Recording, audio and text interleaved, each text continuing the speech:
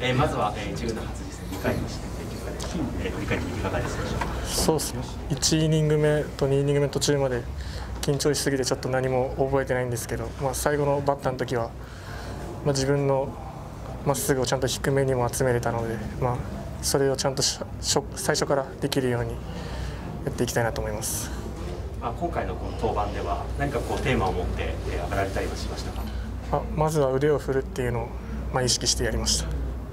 腕を振るというところでいうと、まあ、あのバッターによってこうストレートで押してる場面も見れたと思うんですけどもそこのストレートっていうところは一個こう何かそうですね、まあ、ストレートっていう部分では、まあ、結構押せたりもできたので、まあ、それをちゃんと精度よく、まあ、ちょっと今日はボールカウントが多かったと思うので、まあ、ちゃんと初初球からいけるようにやっていきたいと思います。あの途中からこう沖縄、えー、一軍昇格というこう切符をつかんだ掴んだわけですけども改めてこの沖縄キャンプっていうのに参加してこの雰囲気だったりですとか今何かこう思うところあれば教えていただけますか？そうですね、まあ、まあ一軍ということで、まあ、レベルの一番高いところでやらせてもらっているので、まあ、何か吸収できるものがないかって、まあ、探しながらやっていきたいなと思います。ちなみにこの、えー、今回の実践登板に向けて何かこう監督だったり先輩だったりから何かこう声かけられたこととかありますか、えー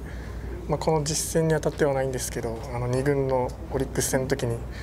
あの小林誠司さんからあの、まあ、ゾーンに、まあ、しっかり投げておけばそんな簡単に打たれないって言われたので、まあ、それを信じて今日は投げてました。あの小林選手からそうあの教わったというかこう声かけられたところっていうのは今日はこう出来的にはいかがでした？そうですね。まあもうちょっと自分の中ではできたなと思うので、まあ、そこのしっかり修正できるようにやりたやりたいなと思います。代表最後になるんですけれども、まあ、これから、えー、キャンプ続いていくと思います。何かこう今後課題を持って取り組まれることだったり、えー、目標だったりあれば教えてください、